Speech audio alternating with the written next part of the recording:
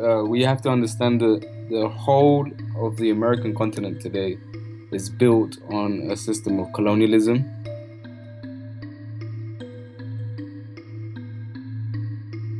But it was never, never about indigenous rights.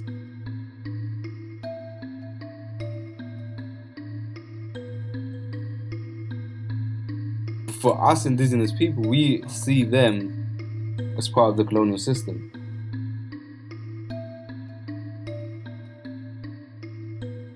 So, what should we understand about the political and economic situation in South America today? I'd say, like, historically, to begin with, uh, we have to understand that the whole of the American continent today is built on a system of colonialism uh, from Canada down to Argentina. There's not one state that is actually built that actually operates uh, politically and economically in favor of the indigenous people or of the other oppressed uh, people peoples. Um, in terms of South America, where I'm from, uh, specifically Colombia, or I call it Muisca territory, which is the original name, the Muisca people.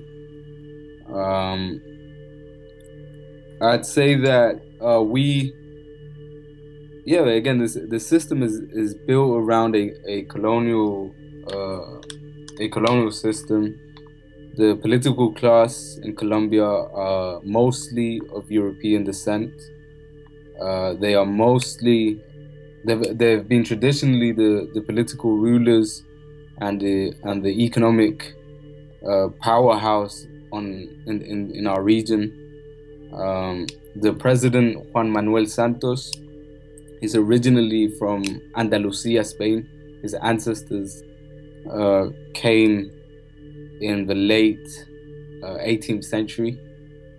Uh, some of them fought uh, in the independence movement. So Juan Manuel Santos is great, you know, uh, great great, I don't know how many great grandmother um, fought in the independence movement for Colombia, supposedly independence movement. Uh, but we we say that the independence movement was actually the transfer of power between one set of Europeans to another set of Europeans. So you had the Republicans and the Royalists. The Republicans, uh, who we call criollos. Criollos in Spanish is uh, people who is Europeans who were born on the American continent. Uh, so, so in English it would be like uh, white settlers. So it was the white settlers against the royalists, so who who were under who were acting on behalf of the royal uh, power in Spain. Um, they so so the criollos, the white settlers, are protesting against the the, the crown against the, the King of Spain uh, because they say that there's unjust um, there's unjust policies towards them. Uh, they they have to pay taxes. They they can't move freely around the region. Uh, so that, you know if, if, they're from a certain region, they couldn't go to another region because they, they wanted to control the population. But it was never never about indigenous rights uh, throughout the whole movement, Simon Bolivar, the main hero of this movement, or the main leader of the movement, um, he he was he came from a class of, of colonials who had uh, enslaved Africans, who had enslaved indigenous people, who had plantations uh, of sugar, um, sugar plantations. Uh, they also had mines, silver and gold mines in, in what is now Venezuela. So, uh, so Bolivar was was never uh, a truly anti-colonialist. He was never truly anti-imperialist. Though today uh, there's a uh, a revised version of that history. You know, Simon Bolivar is painted as a as the leader of anti-imperialism, the first anti-imperialist leader and, and the independence movement of the early 1800s is seen as the first anti-imperialist movement uh, on our continent. Uh, the reality is that they, they were hardly anti-imperialist. They were anti-imperialists simply because they were against the crown. Uh, but for us indigenous people, we we must see them as part of the colonial system. So the, this independence movement by the white settlers the early 1800s is seen as the main uh, movement for many of our people, as well as for the political class. Uh, so the political class, uh, our oppressors today, the, the people in, in Colombia, the political class in Colombia love Simon Bolivar. They exalt him as you know the liberator of our con- of uh, of South America and of our country, and um, but other movements who were truly anti-imperialist, who were truly anti-colonialist, like the Comuneros, who were who came before the independence movement. So the independence movement is early 1800. The Comuneros movement is the in the late 17 in the late 18th century.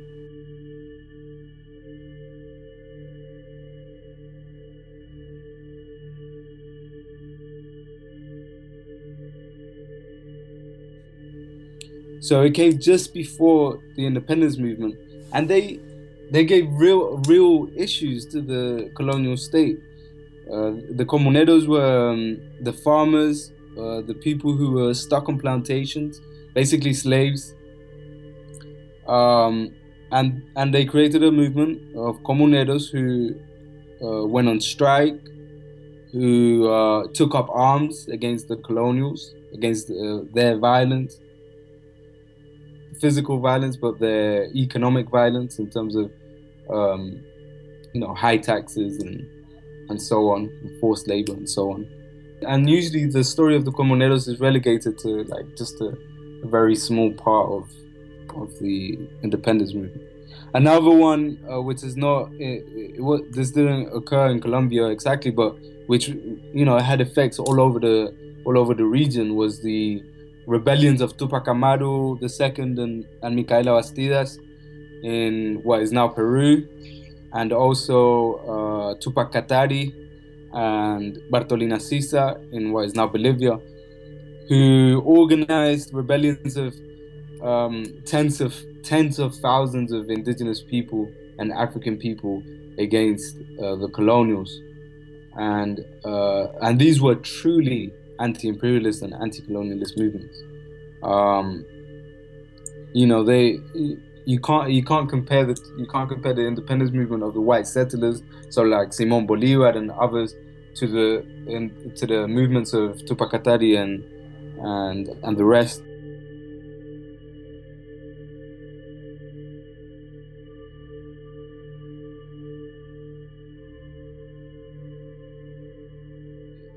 You can't you can't compare the you can't compare the independence movement of the white settlers to the movements of Tupac Katari and and and the rest because they were they were they were going to the root. Uh, they wanted to completely overthrow the system.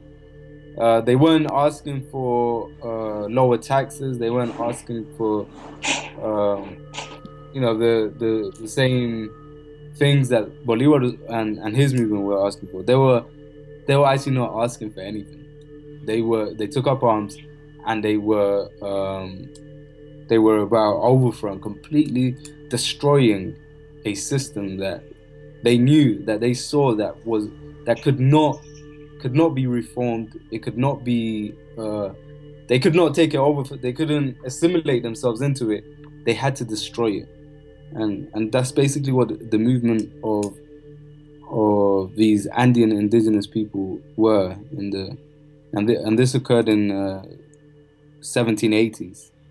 So I, I believe in uh, it started in what is now Peru, in the Peru, uh, Peruvian region in 1780, uh, and then it, it it lasted around two three years. Um, it got it got put down uh, for various reasons, but one of the main reasons is that um, though it, it, wanted to destroy the political, it wanted to overthrow the political and economic system of the colonials, uh, people, characters like uh, Tupac Amaru II wanted to um, wanted a society. They weren't. He he himself. Others were, but he himself wasn't against uh, white people. He wasn't against expelling white pe- people or killing white people. He he thought that he they could make that that the indigenous movement could link with the poor whites to create a new system, a new a political system, an economic system that was more just for everyone, etc. Um, soon, they gradually they came to realize that it wasn't going to work. The uh, poor whites, the working class whites in in the region, uh, betrayed the indigenous movement several times, and in the end, um, it was a betrayal from the Europeans, from the working class Europeans who, which brought the, the which brought the the movement to to its knees. Um, and but but that was Tupac Amaru the second. His wife was much more um, much more aware that of, of the differences in in the struggle. Um, she understood that white people, working class white people, uh, had a certain loyalty, had a certain privileges that they benefited from, and that it was very difficult for them to let go of, and it was very difficult for them to truly uh, immerse themselves in in in the movement that that our people were trying to create, uh, which was a movement about self govern governance for indigenous people. So. So even though they they wanted to include the working class whites, it was clear to the whole movement that what they wanted to achieve was political power must be in the hands of indigenous people. And if and if the working class whites wanted to stay under the under the rulership, under the power of indigenous people, that was fine. Uh, but but then they realized that um, the privileges, the benefits that that working class Europeans uh, had in the system meant that they weren't they weren't ever truly going to um, accept this uh, this position, you know. Um, so yeah, and so and so, you know, today we um, our people, we all of us uh, have been taught that we liberated ourselves ourselves in in the early 1800s with the white settler independence movement with Simon Bolivar at the head of that movement, uh, which is a, a complete fabrication. Anybody who studies object who objectively studies the history of uh, so-called Latin America will see that Simon Bolivar was was never truly about um, justice for everyone on the continent. He he he had very particular interests, uh, and his interests were tied with with the colonial class. Um, so then this so then the system that has been developing for the last 200 years is is the same system that they that they developed uh, that is is that very same system where the colonial class have power over the majority of the population which is indigenous and african. And and we suffer you know we we continue to suffer economically. We uh you know the the particularly well all over the continent you see you see this but but you know, uh, uh, in, in, Colombia, uh, in Muisca territory where I'm from, um, you see that the majority of the people live uh, in conditions of poverty. Uh, I think it's something like 45% of people in Colombia live below the poverty line. So this is um, absolute poverty. No jobs, uh, very, very poor housing, no education, no health care, uh, surviving on uh, very, very low wages, uh, surviving in the informal sector. They don't have formal jobs. They're not. They're not truly connected to to the to the market of the country. Uh, so so we are basically uh, millions of our people are still surviving um, very much apart from from the system, while apart from the system, while at the very same time being attacked by the system. Um, because you know the the way the system operates, they need our people to be poor. They need our people to be disenfranchised politically in order for them to um, to sustain the system. You know, how are, how are, how is a country like Colombia going to survive? Uh, how is the political class of Colombia going to survive without a huge amount of people living in poverty, willing to work for anything that is uh, offered to them. The, the, that's the system. That was the system back in, in the early 1800s, and that's the system today, uh, where our people are forced to sell their labor uh, for uh, almost next next to nothing, uh, with no secure jobs, and and yeah, that's that's just the reality of, of the majority of our people. Um, the last thing on, on, this point is that we also have to uh, make a difference between uh, the rest of the continent and Venezuela and Bolivia and Cuba, because the we always say these these governments are are working under a colonial system, but they are trying to use the colonial system that they're working in in order to um, give back to the people. So they're trying to is is is a is basically it's a reformist. It's quite a reformist movement, you know, but it's progressive. It's it's trying to uh, include our people. It's the uh, economy of the country is not uh, based around um, making profits for a minority anymore in these in these three countries. It's based around uh, making a profit, but in order to uh, redistribute the profit uh, within uh, the whole of the society, in order for it to to um, benefit uh, the majority of the people. These systems aren't perfect. Uh, the systems of Venezuela, Bolivia, and Cuba aren't perfect. Th- there are things to criticize about them. Um, but I would say that whatever we criticize, um, I believe it, it's not about them consciously making the decision to um, to oppress our people or to uh, inflict um, injustice or or attack us in any way, but simply simply due to the fact that we that they are still operating under a colonial system and the fact that they um, that you know it, it's very difficult to um, fix a problem of 500 years in in a decade or a decade and a half as it's been in in um, in Venezuela. Cuba which which has been which was liberated in 1959 is different. They've been you know they've been going at it and and they've been an inspiration for for the whole continent. And I believe that we wouldn't have Venezuela or Bolivia, uh, the, the, the very uh, progressive movements that we have there, without Cuba. Cuba is uh, what what we should be aspiring to. They aren't perfect either, but I think they are the most um, revolutionary.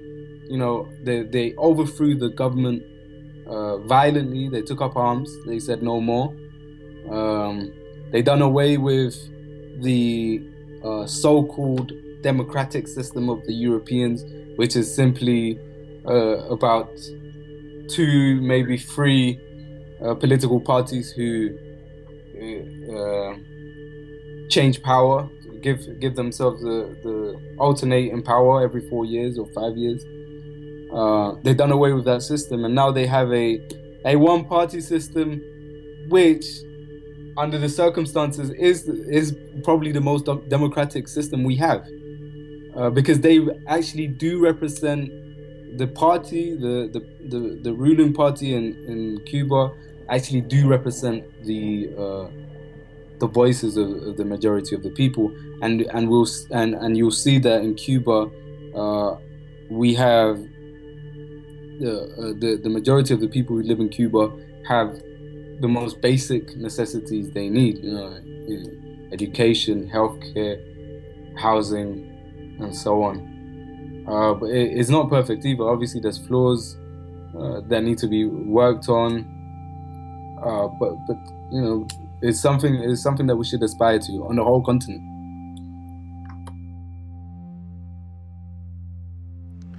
What do you think are some of the reasons that the Cuban government is perceived so negatively by the United States? Yeah, simply because you know the, the U.S. is no different to the way Colombia is run. It's, it's very similar. It's not just Colombia, but any other colonial uh, co- uh, country in in the Americas. It's, it's the same thing, you know. A a minority of uh, Europeans, powerful European political class, and uh, powerful economic class have control of the, of the country. In in Cuba, it's not like that, and and you see it in society. Like it, I don't know, you don't have to study it in that much detail to realize that that Cuba is much more democratic. I like what Fidel Castro says. He he says uh, you know, he, he always used to wear the military attire, and, and he got asked in an interview, why are you always wearing military clothes? And he said, because we're still in a war. We haven't won the war yet. And that's it. Like, under the circumstances, uh, Cuba has been able to create a system which is which is, which is just, which is uh, democratic, not fully democratic because you can't be fully democratic in a, when you're in a war. You can't open up. It's the problem in Venezuela and Bolivia, which is Evo Morales, Nicolas Maduro, Hugo Chavez. They didn't come to power through violence. They didn't overthrow the system. So they accepted that they they had to be part of the system. So they were voted in. So they have they have to to to a very large extent respect that so-called democratic uh, system, political system they have there, which means that they have to accept the uh, old ruling classes having very powerful political organizations, very powerful economic uh, organizations to disturb the, the, the process of revolution. Um, but in Cuba, you don't have that. In Cuba, you have uh, because because they understood you can't have a fully democratic system when you're under uh, attacks from uh, uh, big powerful forces in, in, the United States, Europe, and elsewhere. Uh, and and it's a transitional it's a transitional process. It's a transitional uh, system. Obviously, ideally, in the future, we would want uh, on the whole of the continent, all of our nations to be fully democratic uh, so that we we build a system where uh, everyone's represented, where everyone's uh, needs are met, etc. Uh, but right now we can't have that sort of system when you when you have somebody constantly on your back attacking you. You can't have that, uh, and and I and that's why I, I believe that Cuba is, is, the best way to go about it right now in this tr- transitional period is is to have a a one party state where the uh, where the government uh, are the government of the people and and they defend it at, all costs and they do not allow any other political organization, political class to disturb the process of revolution, the revolution of the majority of the people, which are indigenous and African people. Uh, funnily, funnily enough, in Cuba, Fidel Castro is actually a, a criollo, a white settler. Uh, his father was from Spain too. His mother was, was from Spain too. Galicia, I think, I believe he, he was from. Um, and what Fidel Castro, what Fidel Castro did was, when they won the revolution, they implemented a, a land reform in order to make um, the distribution of land much more equal uh, among the people. And one of the first things he did was to sign away his father's lands so he signed it away and, and gave it away to the people, and and you know that sh- that in itself shows you know he was he was willing to give away his own privileges, give away his family's assets, colonial assets, in order to benefit society. And that's how it should be on, on the whole of the continent. What do you think are some of the reasons that the Cuban government is perceived so negatively by the United States? Yeah, simply because you know, the, the U.S. is no different to the way Colombia is run. It's, it's very similar. It's not just Colombia, but any other colonial uh, co- uh, country in in the Americas. It's, it's the same thing, you know. A, a minority of uh, Europeans, powerful European political class, and uh, powerful economic class have control of the, of the country. In in Cuba, it's not like that, and and you see it in society. Like it, I don't know, you don't have to study it in that much detail to realize that that Cuba is much more democratic. I like what Fidel Castro says. He he says, uh, you know, he he always used to wear the military attire, and and he got asked in an interview, why are you always wearing military clothes? And he said, because we're still in a war. We haven't won the war yet and that's it. Like under the circumstances, uh, Cuba has been able to create a system which is which is, which is just, which is uh, democratic, not fully democratic because you can't be fully democratic in a, when you're in a war. You can't open up. It's the problem in Venezuela and Bolivia, which is Evo Morales, Nicolas Maduro, Hugo Chavez. They didn't come to power through violence. They didn't overthrow the system. So they accepted that they they had to be part of the system. So they were voted in. So they have they have to to to a very large extent respect that so-called democratic uh, system, political system they have there, which means that they have to accept the uh, old ruling classes having very powerful political organizations, very powerful economic uh, organizations to disturb the, the, the process of revolution. Um, but in Cuba, you don't have that. In Cuba, you have uh, because because they understood you can't have a fully democratic system when you're under uh, attacks from uh, uh, big powerful forces in, in the United States, Europe, and elsewhere uh, and and it's a transitional it's a transitional process. It's a transitional uh, system. Obviously ideally in the future we would want uh, on the whole of the continent all of our nations to be fully democratic uh, so that we we build a system where uh, everyone's represented where everyone's needs are met etc uh, but right now we can't have that sort of system when you when you have somebody constantly on your back attacking you. You can't have that, uh, and I, and I and that's why I, I believe that Cuba is, is, the best way to go about it right now in this tr- transitional period is is to have a a one party uh, state where the uh, where the government uh, are the government of the people and and they defend it at, all costs, and they do not allow any other political organization, political class to disturb the process of revolution, the revolution of the majority of the people, which are indigenous and African people. Uh, funnily, funnily enough, in Cuba, Fidel Castro is actually a, a criollo, a white settler. Uh, his father was from Spain too. His mother was, was from Spain too. Galicia, I think, I believe he, he was from.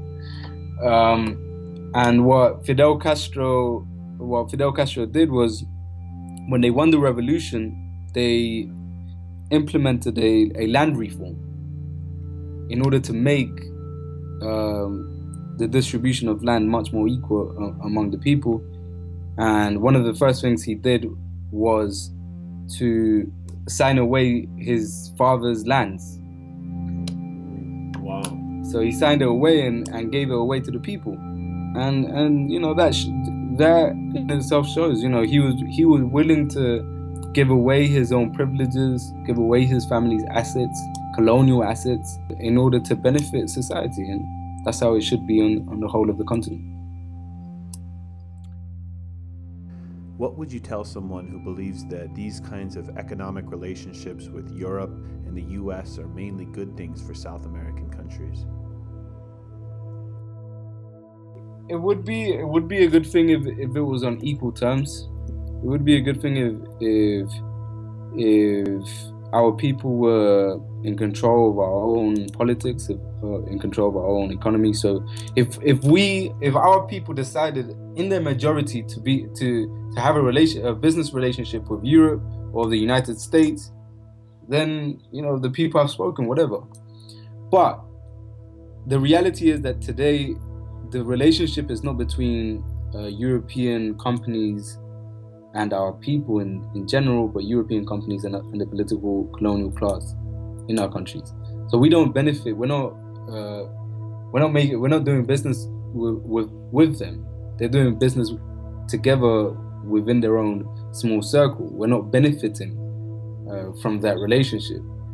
Um, so an example of this is in Bolivia, where you had uh, communication companies, you had mining companies, you had even the airport. The main airport in Bolivia, in La Paz, was owned was owned by a Spanish company. It was uh, privatized, um, and it was and and and it was um, operated by a Spanish company. So they were making profits from from from the Bolivian people but when Evo Morales came into power, uh, he said to these Spanish companies, "You can stay if you want to, uh, but we are going to take 80% of the profit, and you can have the rest." And the majority of them said, and the majority of them actually surprisingly said, "Yeah, okay, we'll stay," because that's how much pro- that's how much profit they would make, even if they stayed with 20% uh, of the profit.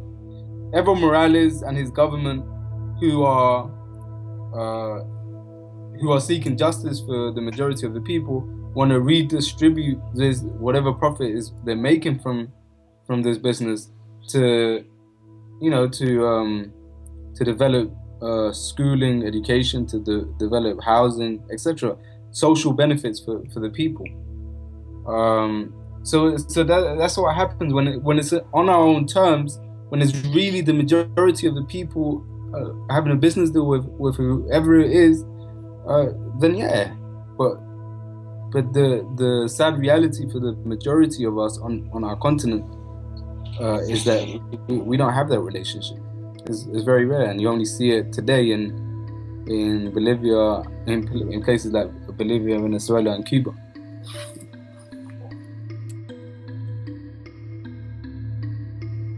What is the extent of European and American influence on the political landscape of South American countries today? In the independence movement, when they, when the royalists, when the white settlers were able to defeat the the people who were the colonials who were working for the crown, the royalists, when, when they were defeated, the system, the political system that they created was based around the uh, French Republican system.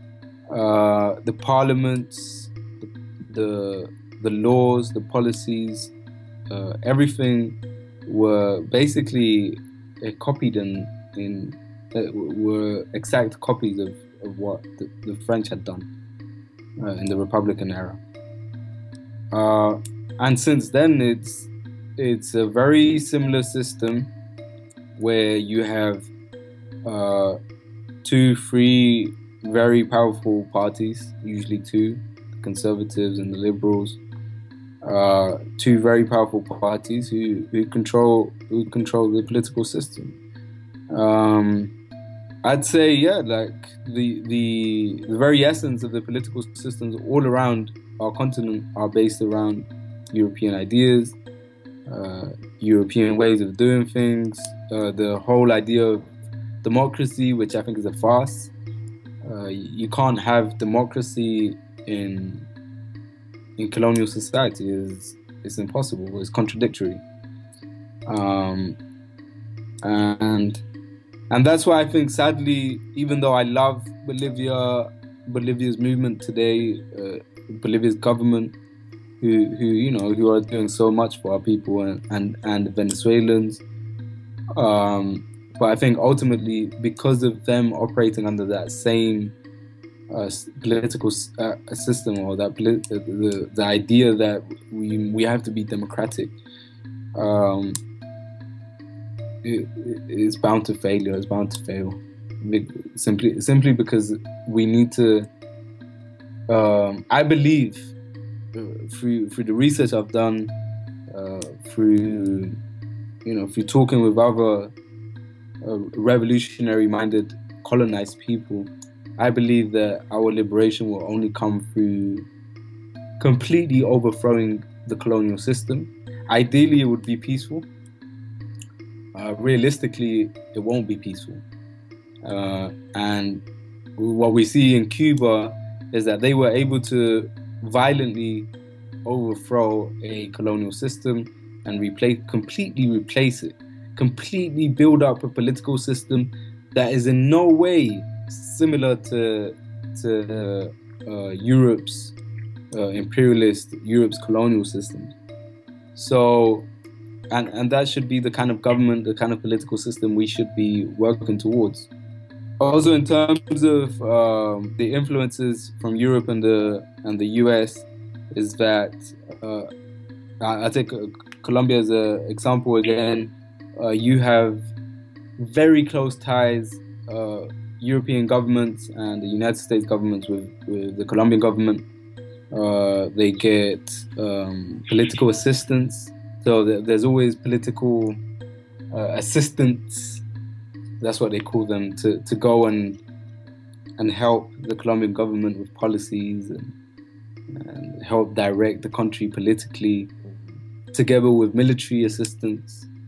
And and what we would say because this is often seen as a um, as a neo-colonial relationship or as an imperialist uh, attack on Colombia, but the, the way I would explain it, if we see it historically, if it's more accurately if we explain it as a um, relationship between the local colonial government, which operates within Colombia, and the foreign colonial governments who are outside of Colombia. So they so they're working together. It's it's an attack on on our people, but it's not an attack on the political system because they're working together. They help each other out. You know, they they complement each other. Uh, and it's like that in the majority of the, of, of the continent. How do these colonial types of political relationships affect the average person in these countries in South America?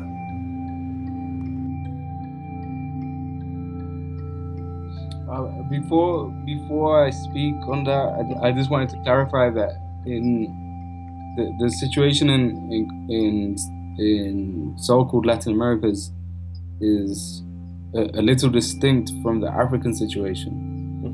In, in the African situation, I would say you could call it a neo-colonial situation, where you have African African leaders themselves uh, being the uh, collaborators or, or, mediators between the Europe, uh, uh, imperialist Europe and the oppressed majority of African people.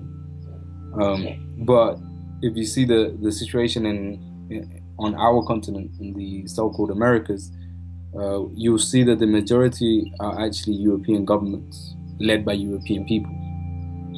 Uh, you have some neo-colonial, some countries where you could say possibly a neo-colonial but I, I still wouldn't call it neo-colonial. You have countries like Peru.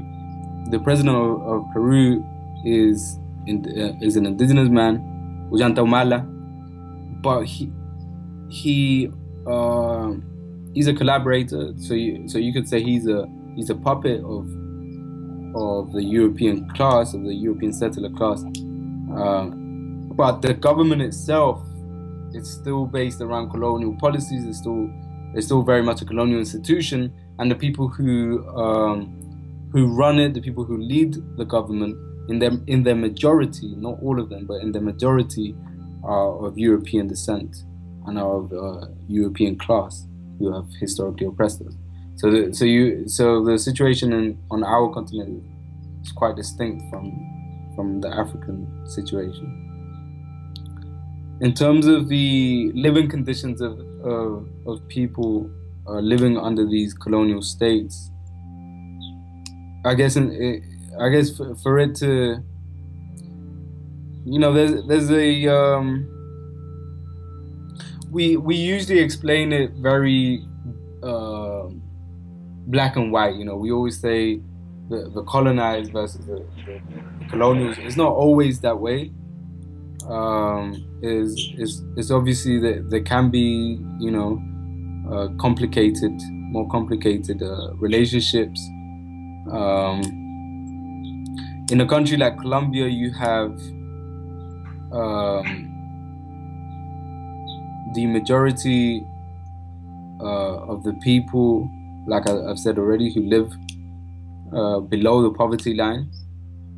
Um, you have some people who, some of our, our own people, indigenous uh, people who who live um, I wouldn't say well off, but in, in secure jobs. Um, but they but you, but you wouldn't you wouldn't say they are a powerhouse. You wouldn't say they they would they would be able to eventually take power from the the colonials or, or that they could take over from the colonials. Uh, it's still very much a very controlled uh, colonial system. Um, yeah, so the uh, an example I guess I could give an extreme example in, in Colombia is uh, a place called Buenaventura, which is a coastal area, is, is, is the port. Uh, you know, historically, it's been a very important port in, in Colombia. Um, the majority of the population are Africans. African, uh, uh they, they call them Afro Colombians, but really the, the Africans who were, who were enslaved and taken there uh, during colonial times, and they live in utmost poverty, uh, in animal-like conditions, in uh, shanty towns, and um, in, uh, you wouldn't even be able to call it houses. It's uh, homes made of of um, mud, uh, made of um, sheets of metal. Yeah, not not proper structures for, for you to call it a, a proper house. Um, a lot of them live on the uh, live off in, informal of the informal sector, which is them basically just trying to survive, looking for whatever product they can buy themselves and sell it themselves. Uh, so not really tied to the formal economy of the country. Uh, you have big European companies operating in the port who come and um, recruit cheap labor, uh, disposable cheap labor, because once people start getting too old, if somebody's got an illness, if somebody, uh, you know, it's just very insecure jobs where where you know, people are just um, dispensable, you know. Um, and what's happening in that region right now is that the Colombian government want to take over that port and displace the people from that uh, port. I'm not. Sh- I'm not exactly sure how many people are there, but it's tens of thousands, tens of thousands of people who live there. They've created a plan for the port and the way the architects have have um, have planned the, the port region does not involve the population that lives there now. So so basically, what they've said with this plan is that we need to get rid of all these people, but take into consideration um, if it was in a yeah, in, in Europe or, or in some parts of North America, um, companies would be able to develop these plans, and then the government would say, okay, so these people have to be moved into some kind of town and into some kind of city, uh, provided with housing and, the rest of the social uh, needs that they need. Um, but no, these people are being murdered. Uh, they're being forcefully displaced, forcefully displaced from their homes. Yeah, they're just being displaced with no. They're not being given any assurance of housing. They're not being given assurance of moving to a place where where, where they can uh, live, you know, as normal human beings. Um, and so this tells you the the mentality of the colonial state, which is these people are these these are not even people; they're creatures. You, you, can murder them. Uh, they call them the um, I forget the word in Spanish, but it's basically the how they've they've found houses in this port region where people are chopped up, literally chopped up into pieces and put into uh, black uh, bin bags. Um, I think it's called Las Casas de, de Pica or something like that. Um, and yeah, and that's that's an extreme case. Um, less less extreme and, and possibly the experience of the majority of uh, uh, the people in Colombia, indigenous people. You have the, the campesinos who uh, work hard to sustain themselves through agriculture, growing crops such as potatoes and, and so on, maize and so on. Um, and because of the trade agreement that the, the Colombian has with that Colombia has with the United States and, and some countries in Europe, potatoes, rice, other agricultural products are being imported and sold on the market for very cheap prices well, the well the product, but you'll see this everywhere on the continent. uh, so they so they import the products from these imperialist nations, sold for cheap, while the products the, of the indigenous people, the farmers, um, are you know are left to rot because no nobody would buy them. Who who who's going to buy a, a potato for, for the right price if, they, if the market is being flooded with uh, very cheap products from the outside. Um, the the Colombian government has no respect. The Colombian colonial government has no respect for the for the farmers, the agriculturalists. Why? Because to them, they don't consider them, you know, humans. They don't consider them. They're they're a, uh, a government who serve themselves, their own class, their political class. The majority of the people have to survive on their own. Uh, and yeah, you see this across uh, society. In urban areas, uh, the situation for the urban people is not much, uh, it, it's not dissimilar. You have people who, um, you know, the, the, the, case all around the continent, which is um, people uh, being forced to compete uh, for factory jobs for, for very low wages. So so whoever is willing to work for the cheapest, they recruit. And once these people cannot work anymore for whatever reason, they're getting too old. And and mind you, being old in Colombia as a worker is around 30 years old. Once you get to 30, it's getting too slow, getting too old. We need to they need to be replaced. So the, the, that's the that's the kind of conditions uh, we have on our continent. Uh, on our continent. So across the, the whole of our society, from factory workers to farmers to uh, to, fi- uh, to, to, to to fish uh, fish farmers um, on, the ports, it is the same same situation of, of poverty, uh, poverty and violence from the state.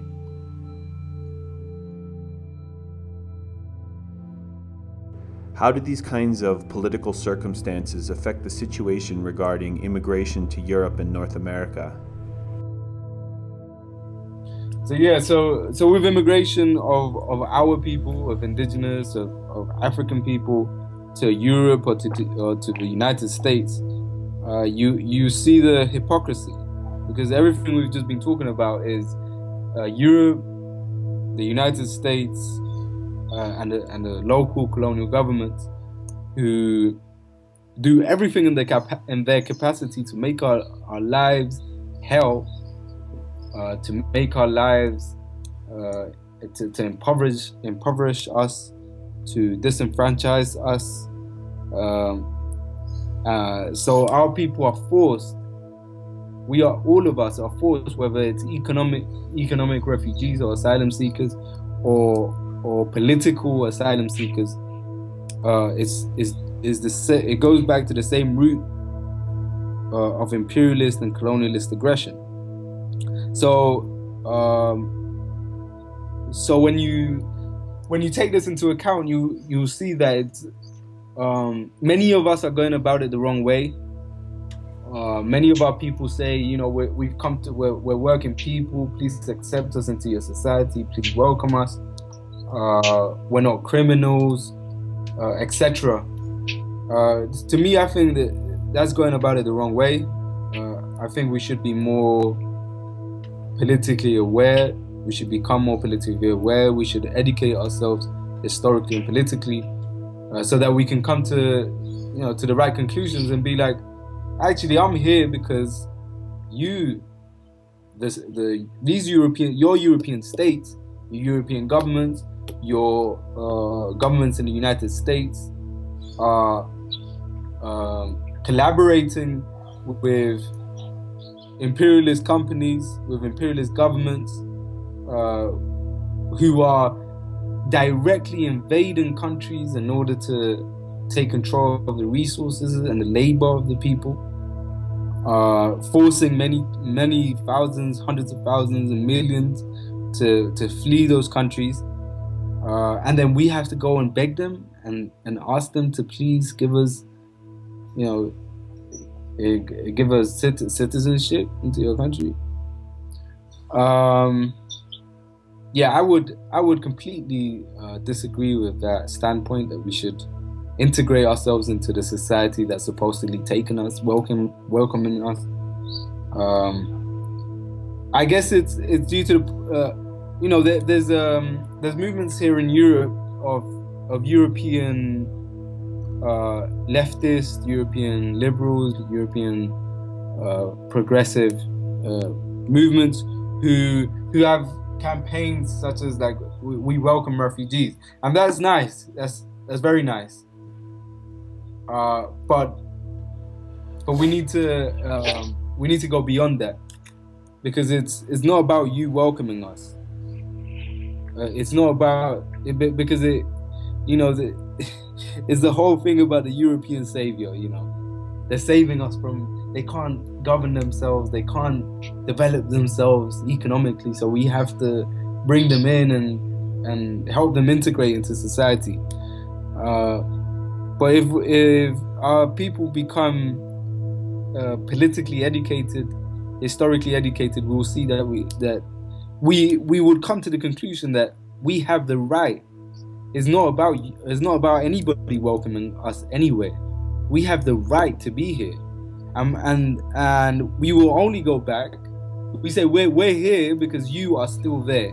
We will only go back when there's uh, proper reparations for what has been done to us historically, and proper reparations for what is con- what continues to be done to us, and uh, a proper addressing of the of the political imperialist uh, position of the United States and Europe uh, in order for them to to uh, to stop attacking us, they're not going to stop attacking us. We need to make them stop. Be it if if it's peacefully, that's ideal. Let's do it that way. But if it's not, and I I, I personally believe it, it, it can't be peaceful. Uh, then it then it must be stopped by whatever means. Um, but yeah, I, my position on on the whole immigration issue is that we uh, for now, as, as, as, the way the system is is structured, we we obviously have to we have to migrate and and uh, you know we have to do whatever we can to survive. But in the long run, in the in the long term, uh, we must develop uh, our political consciousness. We must develop um, an attitude which is less about giving thanks to Europeans for taking us in, or North Americans for taking us in, and more about uh, an aggressiveness, a political aggressiveness, being like, actually, you, actually, you made me um, leave my country. Actually, you owe me. I don't owe you anything. You owe me. Uh, so whatever whatever I'm able to have here, whether it's housing, education, or whatever it is, it was financed. It, it came it came to be thanks to the oppression that my people and other colonized people are facing.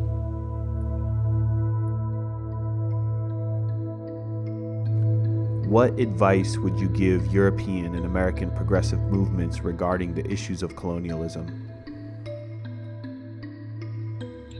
Um, I would say that they. I would say that, that white people need to take a back seat uh, and come under the leadership of political organizations such as the Uhuru movement, who are already um, uh, who already have a, um, a section in, in, their organization which is uh, specifically white people who who are under the leadership of, the party of, of the African uh, organization. Um, and and yeah, it's again, it's not about trying to save us, or it's not about them finding the solution for us. Uh, we need, to, as indigenous and African people, we need to find our own political uh, and economic solutions to our, to our problems, uh, or to the problems that Europeans are giving us. Um, and if Europeans truly want to uh, be in solidarity with us, um, they have to listen. They have to stop talking so much. Uh, they have to stop trying to create their own organizations to lead us, uh, and come under the leadership of people who are truly trying to change the system, trying to overthrow the system. Um, I was watching a I was watching parts of the debate between Bernie Sanders and um, Hillary Clinton uh, I think it was I think it was yesterday that they debated. Um, and it's very similar to uh, what we have here in the in in the UK with Jeremy Corbyn, uh, the Labour MP, who you know he's, he's a he's a respectable man, an honourable an honourable man. I think Bernie Sanders to, to to a large extent is also a, a respectable man. But there's a there's a big issue, which is that they um, we can we can't be ruled by white people. It is my opinion, and for some of us who are anti-colonialists, uh, see the contradiction. How can how can a white person be in charge of us, or how can a white person really lead a revolution that would overthrow, that would destroy a system in which white people uh, are, the, are the main benefactors of that system? Uh, so, so it is my it's my opinion that though Bernie Sanders, in terms of like maybe reforming, though it, it it's it, it's uh, almost unlikely. Uh, he he could have very um, progressive values and interests, and he wants to take the country in in a very reform. He wants to reform certain aspects of society, uh, but we're talking about a, a system, a whole political system that would be working against him to undermine everything he he may he may be want want to do. Um, so again, like I would say that uh, what we need is a, a revolution and what people like Bernie Sanders and other white activists are calling for are reforms, uh, economic reforms that will benefit white society and maybe trickle down something to the indigenous and Africans. Uh, but in terms of like a revolutionary movement that will halt the oppression of our people, that will um, change history, I, I, I, wouldn't I wouldn't call it that. And and yeah, it's the same with the smaller organizations of, of uh, Europeans who, for example, here in the UK, you have loads of organizations who are for migrant rights, refugee rights, housing rights, which which are all very good. You know, the aspect, certain aspects of our of our people's oppression, um, which which have to be addressed, which have to ha- have to be uh, taken care of. But in the long term, if we if we're talking about self determination, we're talking about political liberation, we're talking about economic freedom, economic self determination. Uh, then we have to go beyond the you know the very narrow narrow minded views of um, or very particular interests of, of European leftists or European activists. What would you say to the next president of the United States or European leaders regarding the colonial situations in the Americas?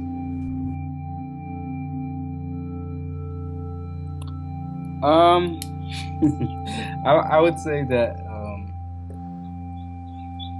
I would say that I, I have nothing to say to you. Fair That's enough. what I would say. Uh, simply because I, I I believe m- my personal opinion is that Europeans and especially especially the political the ruling classes who have so much invested interest in, in this colonial system in this imperialist system they have so much to lose that is is pointless trying to convince them that we need a revolution. Uh, so I would say, in, instead of um, instead of asking questions of, of them, uh, ask questions of our own people, my people, indigenous and African people. What are we gonna do um, for our people? What are we gonna do in the next 100 years? What legacy are we gonna leave our people? Are we gonna allow Europeans to continue oppressing us? Are we going to allow them, uh, allow our children to continue to be cheap labor uh, for for European companies and European industries? Um, are we going to, yeah, are we going to continue being an oppressed and an oppressed people, politically, economically, socially, and, and so on? Um, and and if we are and if we are going to overthrow the system if we're really going to change the system it can't just be through social activism um, and its various aspects whether it's uh, i don't know housing rights or gay rights or so on which are important we, we must also like you know join join those movements but in the long term we need to develop a political consciousness a political plan, a pl- political program uh, to give an alternative to this oppressive system. We want to overthrow the system and replace it with something more just uh, for everyone. Um, and you know, if we need to work towards that, we need to work towards liberating ourselves uh, from this colonial mess, colonial mess of 500 years.